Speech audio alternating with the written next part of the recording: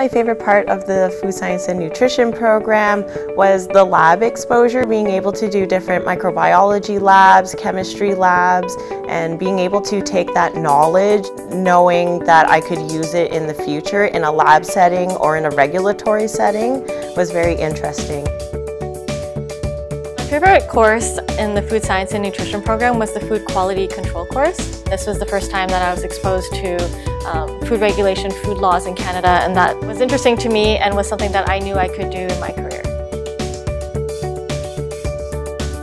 It really gives you a better understanding of like how food is made and what kind of processes goes through and then how to test the food after.